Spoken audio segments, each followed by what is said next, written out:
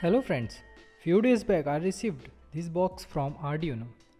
I am very excited to see what we have inside. So let's unboxing it.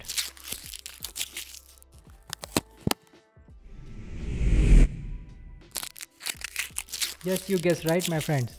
This is the newly launched IoT development board from Arduino.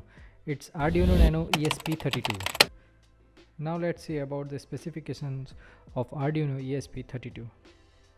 It have ESP32 S3 microcontroller on board. It also have Wi-Fi and Bluetooth inbuilt. This microcontroller have very high clock speed of 240 MHz. It have the same form factor of Arduino Nano. It means you can easily replace your Arduino Nano with this Arduino Nano ESP32 board. But keep in mind that IO pins are 3.3 tolerant. So get ready friends, we are ready to try Arduino Nano ESP32 for the very first time. And yes, we will try most popular blink test. This board also have a on-board LED connected to pin 13, but I am going to connect external LED on pin 13 for better visibility. Pin declaration is same as we are doing for Arduino Nano.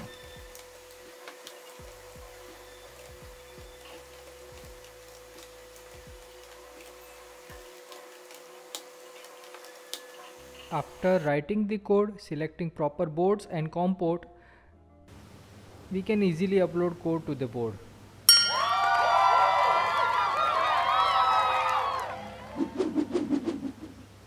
So friends as of now we have learned what is Arduino Nano ESP32 board is and managed to run a basic LED code. Now it's time to move towards the application for which Arduino Nano ESP32 board is designed for Yes, home automation and IoT applications.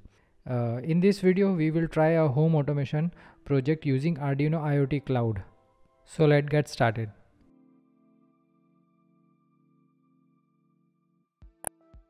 So first of all, go to the Arduino Cloud IoT web application. Then after we have to configure our device. Right now we are using Arduino Nano ESP32 board.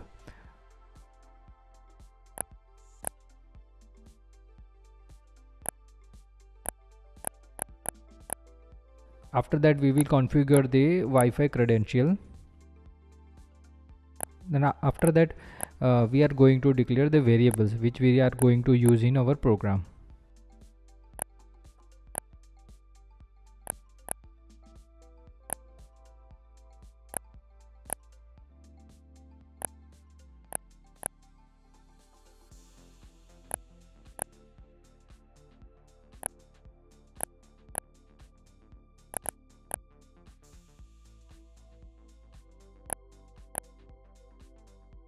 After completing the variable declaration, it's time to edit some code.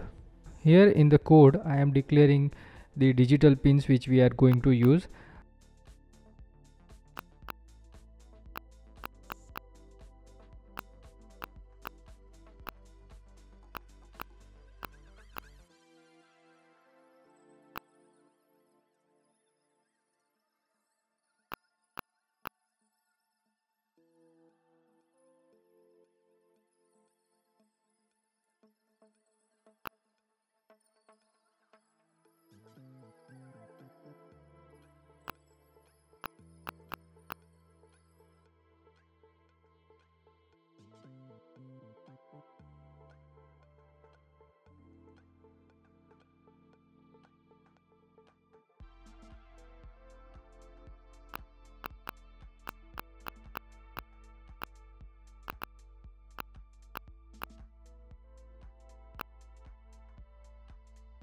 so as of now our coding is ready.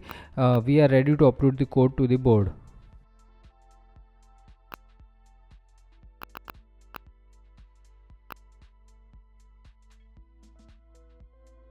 So after finishing uploading the code it's time to develop a dashboard.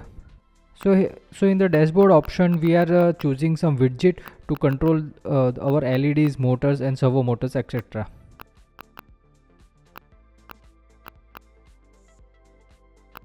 so our dashboard is also completed. Uh, now I am using this my multi-purpose PCB for this project because uh, earlier this PCB I am using with Arduino Nano and this Arduino uh, Nano ESP32 board is 100% replaceable with uh, Arduino Nano. But just remember that its pins are not 5 volt tolerant. Arduino Nano ESP32 pins are 3.3 volt tolerant